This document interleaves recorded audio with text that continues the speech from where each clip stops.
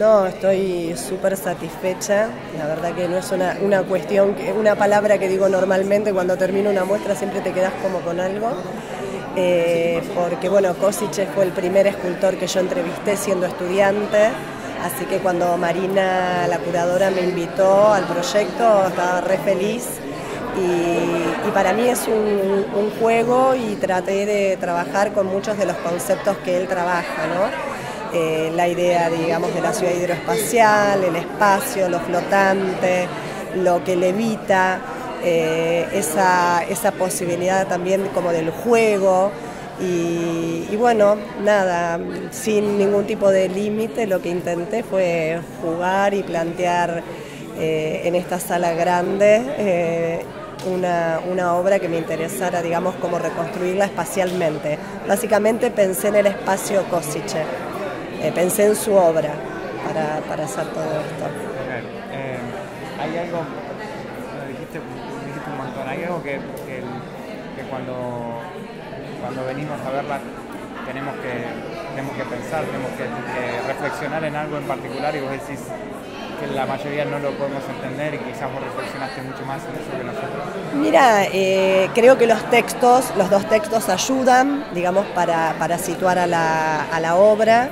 Eh, pero esta cuestión del marco recortado, eh, que era, digamos, uno de los elementos que Artemadi propuso, eh, bueno, nada, son como pequeños guiños a la historia del arte, pero que podemos leerlo a partir de los textos.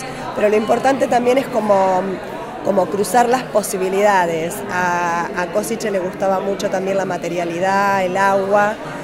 yo también tengo una cuestión con la materialidad muy importante y también me interesa, digamos, la, la, cuestión del oficio. Él tenía un gran oficio y en eso, digamos, eh, nada, siempre admiré, ¿no? Como, como esa, esa creatividad, ese elemento, digamos, tan eh, inventivo que tenía. Genial. Te, pregunto sobre la colección y 10 años y si quieres dejar un saludo, hay algo que te acordás, alguna muestra que te gustó, algún momento que pasaste, algún artista que, no habías podido ver y pudiste ver aquí. Eh, bueno, yo vengo desde hace 10 años y cuando Amalita, digamos, eh, tomó un poco eh, la conducción de acá, me acuerdo que una cosa que le dije, le digo, hay que incluir a los contemporáneos más todavía, ¿no? Y entonces ver ahora eh, todo el proceso de cambio y la intención de acompañar, digamos, desde la colección también con las muestras que han ido armando especialmente, eh, me parece que, que, nada, que ha sido una, una, gran elección de todo el comité, ¿no? También está Germán y seguramente otra gente, pero, pero la verdad que se trabaja muy, muy cómodo, muy cómodo, muy lindo fue.